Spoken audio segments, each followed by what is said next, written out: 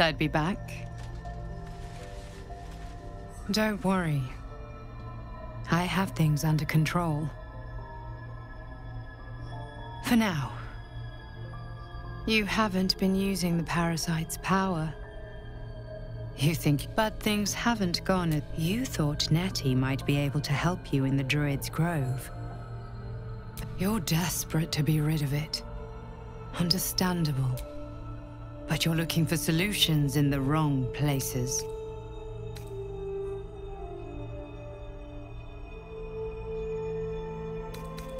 Your parasite is unusual. Until the source of the tadpole's magic is destroyed, any attempt to... The parasites are merely a symptom of a greater sickness in Faerun. I am not sure yet. These parasites are more than illithid spawn.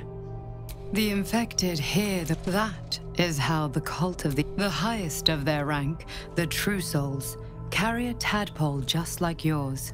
When the order to transform is given, it will not be a matter of days. They will be mind flayers in an instant.